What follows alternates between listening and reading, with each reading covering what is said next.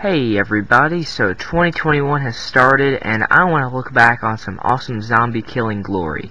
Fear the Walking Dead has been one of the most controversial zombie shows in a long time for me. Some seasons are good, some seasons are bad. Some decisions are good, some decisions are bad. Some characters are good, some characters are bad. And we're here to look it all over. I'm going to be looking over every single episode of Fear the Walking Dead this year. And you guys can join along with me. Comment down below what your favorite parts of the episodes were, what your favorite characters are, anything you want.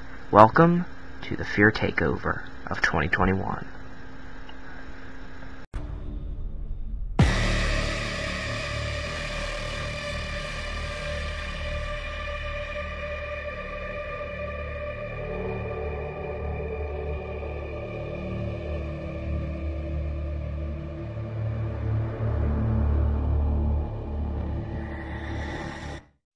Hey guys, AJYT here, and welcome back to another episode of our Fear of the Walking Dead takeover of 2021. And today we're talking about Fear the Walking Dead Season 6, Episode 3, which is titled, um, what is the title? Holy crap, is, oh, Alaska. Yeah, I vaguely remembered. But yeah, this is a Al and Dwight episode with a little bit of Morgan sprinkled in at the beginning. So let's get into it. So yeah, we're gonna start off with just a little bit of Morgan that's in the beginning. Um, he's just kind of getting ready. He's you know modifying his axe to fit in with his staff. He takes the the uh, the axe part off of the axe and kind of combines it with his staff. That was pretty cool to see. Because um, I didn't want the staff to just completely go. I didn't want him to just give give up the staff, and not after all Eastman did to kind of ensure that he was using that all the time. But I'm not exactly sure Eastman would be proud of him using it for violence either, but oh well. Who gives a shit? but yeah, um, that's really all that happens this episode with, with Morgan. But uh, Dwight and Al are kind of going to these different locations to see if there are people that are in need of Virginia saving them that's basically their job and they have to document it. But of course, Al is still very much stuck on, um, oh my gosh, the woman from the CRM, Isabel, and she gets a radio, um, picks up the radio frequency of Isabel saying that she was like, she's near the area. So then Dwight has an idea to go to where she's going at so Al can meet her.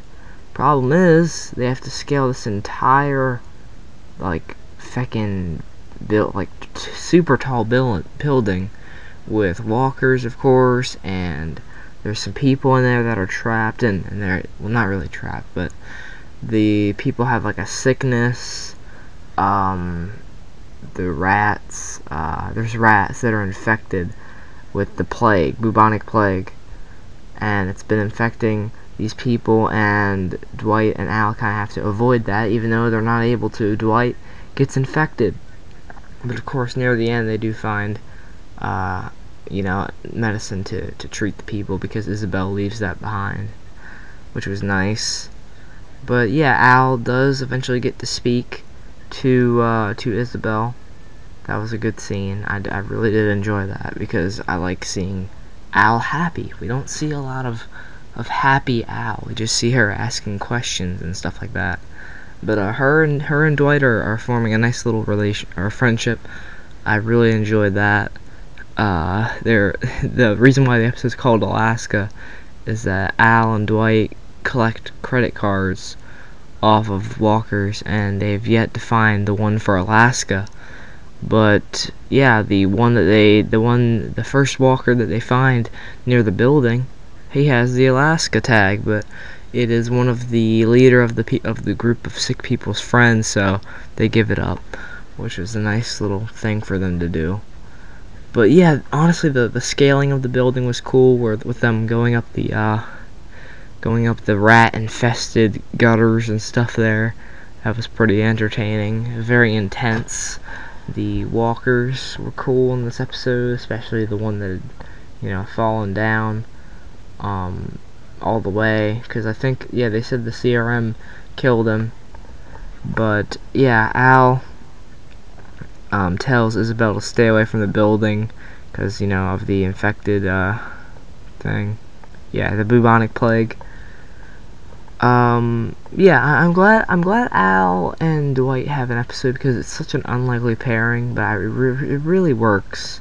But the ultimate payoff has got to be at the very end of the episode where Dwight hears someone on the radio and it sounds like Sherry and he runs out and runs all the way down and out the building and walks up to the, sees this person standing there runs up to the person, and yes, it is Sherry. Dwight finally found her, and oh my gosh, it was just so, so, so, so, so, so, so, so satisfying. Like, I've been waiting for that. We've all been waiting for it, really, since uh, she disappeared in, in Season 7. Uh, for her to come back and for them to be reunited is just such an awesome moment for, for both of them and and you know Al's very happy for Dwight as well that was nice to see but yeah they uh it's it's it's a really good reunion scene it almost tops when Madison well I don't know it might it might even top that it might even top when Madison reunites with Nick at the uh military base. That was that was really good. But um, yeah, the action was good, like I said. Um, and then stuff with Morgan was interesting enough at the at the beginning where he was like he doesn't know. Oh, he's gonna have to do some really horrible things to to you know ensure that everyone is safe.